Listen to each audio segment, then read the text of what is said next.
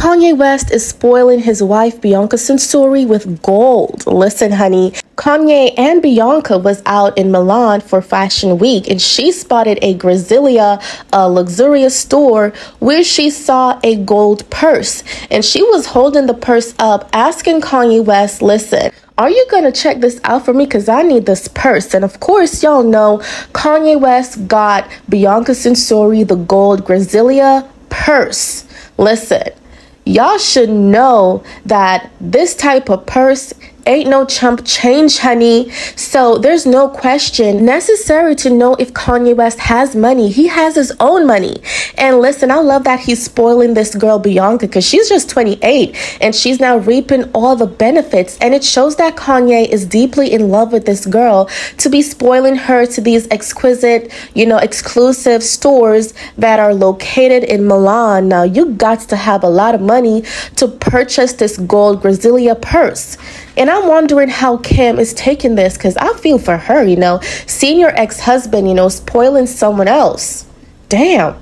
Not only that, Bianca Censori has been getting so much attention out in Florence, you know, the Milan Fashion Week. Like, she's getting all the attention. And I love that for her because I know she and Kanye is going to come back with a bang for Yeezy.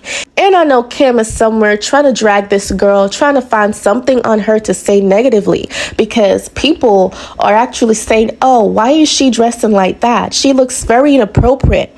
But the truth is, she's with a designer, she's an adult. We can't tell people how to dress, you know. It's not as if we're seeing her naked. She just chooses to dress how she wants to. And I don't think Kim should be a person who tells someone how to dress like, Kim, you're not in a position to judge someone about their outfits. Like, be for real. So I'm so glad that, you know, Kanye West is out in Milan having a good time because this proves us that, you know, he still has people, he still has a support system because Kim told everyone that he's going downhill and he would have lost everything. Now, why would a man who lost everything buy his wife a? Brasilia gold purse. A hundred percent gold purse, like be for real. And we all know Milan is super expensive, so we know Kanye West has that money. And I feel like he's still a billionaire, but people want to uh, switch the narrative to say, oh, he lost all his money in lawsuits, and because of that anti Semitism comments that he made, the man still has his money okay? There are a bunch of celebrities that are billionaires, but they choose not to disclose their personal information unless they're trying to get some clout. Okay, so I do believe Kanye West and Bianca Censori are in a great place together. If she can feel comfortable to ask him to buy her a gold purse, then I do believe that they have a good thing going on. No toxic arguments, no fighting. The only person that is trying to drag them down is Kim and Kris Jenner because Kim cannot live with the fact that she made a mistake, you know, divorcing this man and having to see him move on with someone who's deeply and madly in love with okay?